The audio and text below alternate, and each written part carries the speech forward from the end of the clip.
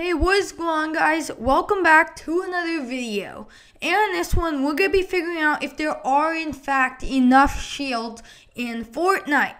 Over the past few weeks, I've been finding a lot of shields because before that, I felt like there were just no shields anywhere, and without Siphon, it was really hard to get high kill games. But I think because of the fact that they buffed the uh, spawn rate, of minis and big shields. And then this past, or this week actually, uh, we got the Chug Splash item. There are now finally enough shields in Fortnite again.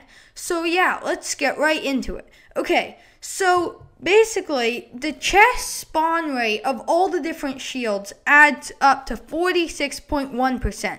This means that you're going to be getting a Slurp Juice, Big Shield, Chug Jug, Mini, or uh, Chug Splash in about half the chests you open. And this is only for chest uh, spawn rate. I have not, I didn't look anything into the floor spawn rate. This is only chest spawn rate.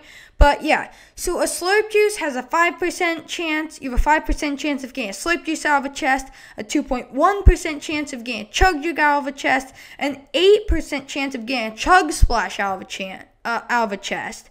Um, and this, the Chug Splash, I actually did it myself. I went to Creative, put down 50 chests, and got 4 Chug Splash. And then since it's a percentage, you multiply it by 2, and that is equal to 8.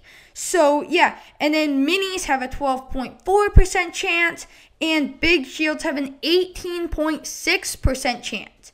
And yeah, basically what this means is you're gonna be getting a shield out of every cup of every two chests you open on average. So in my opinion, I think this is enough shield because if you loot the starting town, you're probably gonna be looting five or six chests. You're gonna be getting full shield, and if you get minis or big shields, because big shields almost have a 20% chance of spawning in a chest then you're going to be leaving your sign area with full shield and a couple extra shields and probably I mean bandages and medkits are pretty much everywhere. So you're definitely going to have those. So yeah, but this video was just my opinion on I think uh, there are enough shields in Fortnite right now, but leave a comment of what you think. Do you think that there are enough shields in Fortnite right now, or do you think they should add more?